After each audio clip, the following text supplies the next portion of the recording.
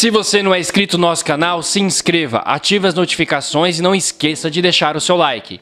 A Chevrolet ainda não confirmou o lançamento do Chevrolet Onix RS, versão esportiva do modelo.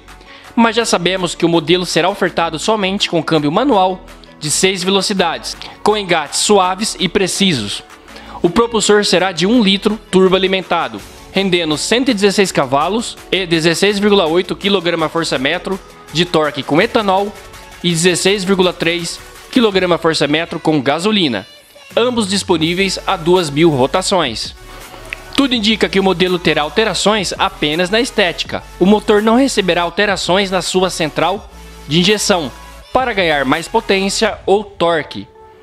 Saída de ar cromadas no escapamento e possivelmente adesivos, spoiler e saias laterais, além de detalhes internos exclusivos no interior para diferenciar o modelo RS das demais versões. Certo mesmo seria Chevrolet trazer o 1.2 turbo para realmente termos um modelo com diferenciais esportivos, para assim, quem sabe, brigar com o Polo GTS que vem por aí no começo de 2020.